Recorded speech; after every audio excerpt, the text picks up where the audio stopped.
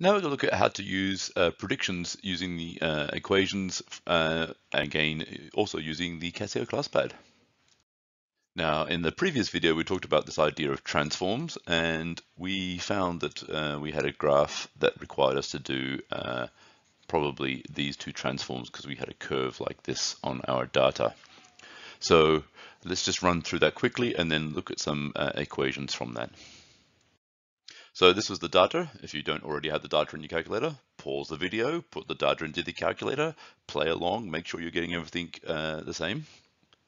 So very quickly, calc, regression, linear reg. Our x is list 1, our y is list 2. We did put a residual in list 3, but we're not so worried about that too much this time. Well, now we had this r, and that's important to remember that the r equals minus 0.927, three significant figures.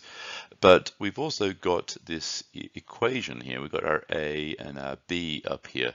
So let's start look, writing that equation. So this equation, remember, is always y equals a plus bx. How do I know that? I read that. Now, our a, the three significant figures, is 101. And uh, because we've got a, a, negative symbol here, it's going to be b is minus 0.392x. And this is going to be our uh, first equation we're going to be using. All right. Now, uh, we compare the r's to see which one is going to be the actual best equation, but I'm going to do it three times over just to make sure you're having fun with us. And what we found when we graphed this is we got a curve. It didn't look particularly linear. And we went to set graph and settings.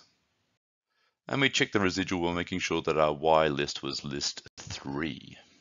And again, here's that lovely pattern. Now that equation that we talked about before, which was uh, down here, that is actually our equation uh, y equals uh, 111 minus 0.392x. That's actually what that line is showing. They just leave it on there for some reason. Don't need it and shouldn't be there really. And by noting we had a curve like this, means we had a curve like this. We could have done all four of these transforms, but oh god, that would have been a long, boring video. So we're just going to focus on these two transforms, log x and reciprocal or inverse x. So we clicked at the bottom of list four because we wanted to put it into list four. And then because list one is our x, we're going to do reciprocal of x, which is one divided by list one. And we got these lovely values. Notice this graph here, that's not list four. This graph is still, that's, that's, that's your list three graph. Remember I said about graphs just hanging around because you haven't got uh, updated them? So make sure I was going to the set graph setting because that's not list four, that's list three. Uh, big problem for some people. And then we go calc, regression, linear reg. And we make sure our list four is the thing. Remember, we I keep saying this. List one equals x. List two equals y. List three equals x, y residual. Just give people extra marks just for writing that on the side of the thing. And list four was reciprocal x, which is one divided by x. Some of you fancy people know that's also x to the one. Now this is a very important point here. This is a lie, remember? Because we said list one equals x, list two equals y, list three equals x, y residual, and list four equals one over x. So it's not y equals a plus bx. That is wrong. It is y equals a plus b times 1 over x, which is exactly the same as saying y equals a plus b over x. That's what we've got. Now, let's look at our values. So a, three significant figures. So y equals 28.6. And then uh, let's look at our B. Uh, B is uh, plus 1120 over x. Now you might be going, there's four numbers here, but uh, if we look, this is just a placeholder zero. Our three significant figures, these are our three significant figures here. So that's three sig figs. All right, so that is correct. That is our equation. All right, don't get uh, grumpy about this. There's our three significant figures. That zero on the end is just a placeholder. All right, so that's our equation. Now the other thing to remember is we actually looked at the R, and our R in this case, uh, R equals 0.862. So we said that's actually worse transform than the other one. Okay, and we'll uh, have a look at that in a, uh, at the end. But we're going to still use that equation and just for practice. So as we said, because the uh, for uh, reciprocal x it wasn't very good, we're going to go to list five. And this time uh, we're going to try log of x. That's what log of list one, because remember list one was x. It's gone off the screen now because we had to scroll across to the right, but you can see that. And so here's our all our log values of x. Don't forget, look at this graph. That graph is still list three. It's a zombie graph. It's still there hanging around like a bad smell because we didn't change settings on set graph. So we go calc regression linear reg. And this time list five. Have I mentioned this before? List one, list two, two list three, list four, and list five equals the log of x. And that's the one we want to put in there because that's the one we're checking. And here's that lie again y equals a plus bx is incorrect. It is y equals a plus b log of x because that's what our x is now. It's not x, it's log of x. So our y equals, where's my a? My a is here, three significant figures. Uh, it'll be just uh, 224 because the 5 makes it go up, yeah? And as uh, B is not a plus, is it? Because it's uh, actually a negative. So we can actually just skip the positive symbol and just go minus 86.5 log of x. And that's our third equation we're going to get from our A and B values. But let's have a look at that R again. The R, R equals minus 0.987 7, that is very good because remember that's compared to r equals uh, minus 0.927. That was our first first r. And uh, so that's an improvement. Uh, so actually the best equation of all the three that we've come up with is this one. This is the best equation, but we're going to look at all three of them. So here's, here's a summary of all our equations, and you can see that we've got uh, y equals a plus bx, y equals a plus b divided by x, and y equals a plus b uh, log x. Uh, just to remind people, because it's amazing how many people don't know this. So 1 over x uh, is exactly the same as 1 divided by x, which is exactly the same as x to the power minus 1. So on your calculators, if you do, if you type on your calculators, uh, this is calculator talk, if you did 1 slash x or uh, x hat neg 1, you get this, they're all the same thing, okay? So whenever you see these things, um, remember fractions are exactly the same as division, okay? So I'm going to make a prediction when x equals 200, okay? And uh, this, this guy here is just my first equation. That's my y equals a plus bx and I've put in the 200 here for the X and I got my prediction of 32.6 out here. I've just done the same thing again here. I'm doing a prediction for X equals 200 because uh, this is my equation y equals uh, a plus b over x. And notice I just used that division symbol. That's just hitting the divide symbol. By the way, if you're thinking this looks a bit funny, that's just times. That's times. And this guy is division. Uh, they look a bit funny on my computer sometimes, but that's all they're doing here. And, and we got fairly similar predictions, not too bad. Now this is just my third third equation, so this is y equals a plus b log of x, and uh, you can see my uh, x equals 200 here, and uh, this this round this number off, it's 25.0. Now this is a significant figure. All right, sometimes uh, people get freaked out by that, but I've only got one, two, three numbers, uh, so I have to go to the third place.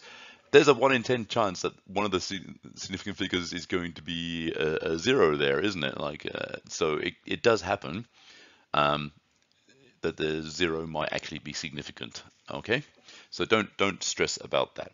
So we've got three values here. We've got 32.6, 34.2, and 25.0. So uh, big question is, which is best? Well, the R for this one, this was uh, R equals minus 0.927.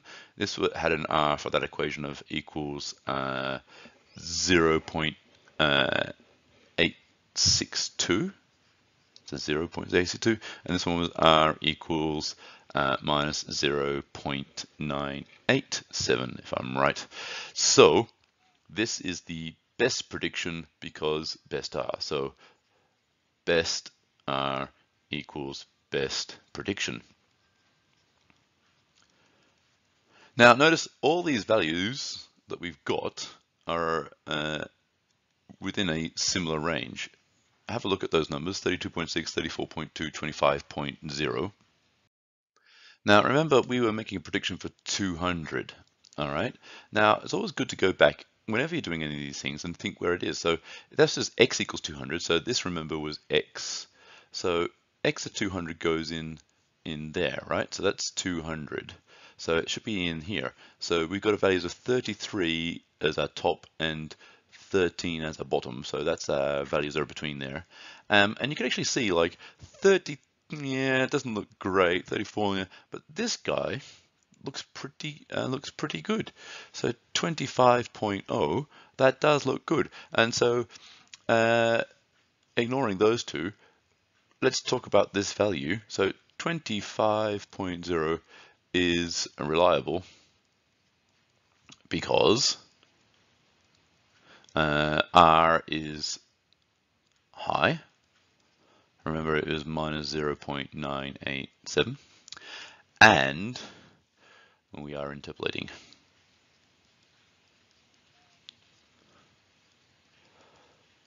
What does interpolating mean? Well, 200 is within this range of 10 to 300. So we're not going outside the range of the data when we're interpolating. So 25 is reliable because R is high and we are interpolating. Now, we're going to try some other predictions, but a good trick is, since we've got all this already written in, if you just you know, tap the, the screen and, and put your cursor here, you can change the digits here. So we're going to do a prediction now for uh, 500, all right?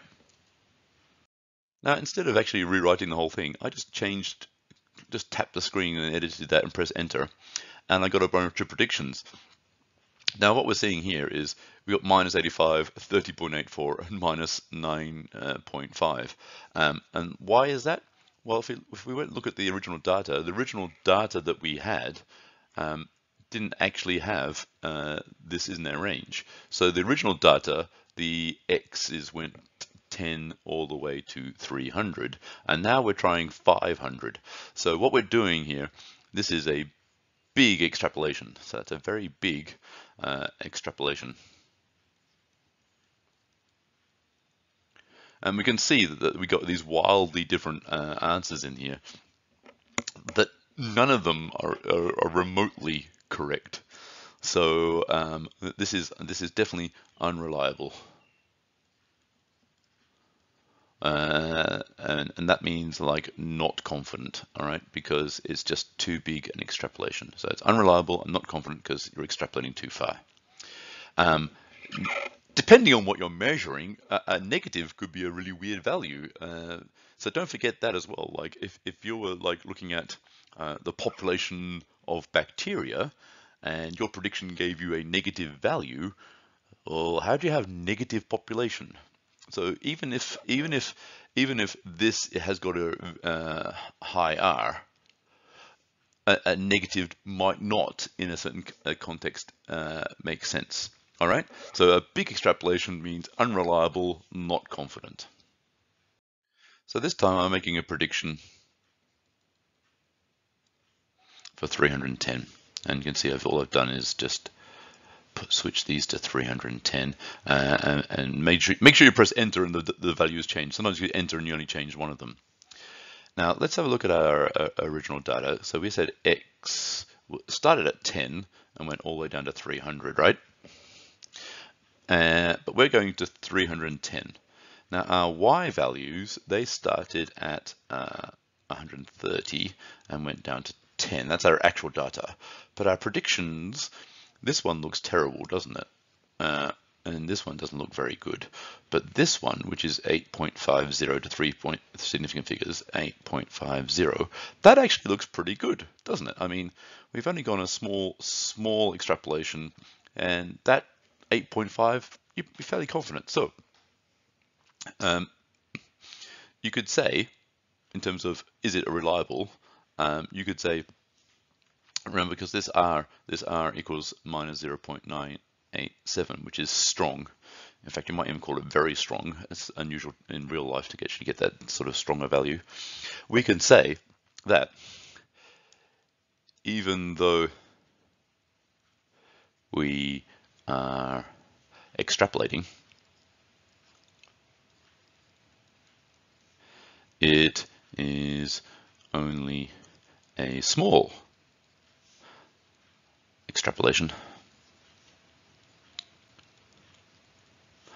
and R is strong, uh, therefore the result, or we call it the prediction, is re uh, reliable. And and the other phrase you often hear about is like confident And it's kind of like gambling, isn't it? Um, so 8.5 looks like a pretty good bet. So even though you're extrapolating, which is considered to be bad, you're only extrapolating a little bit and your R is very high. 8.5 looks like a good bet to make.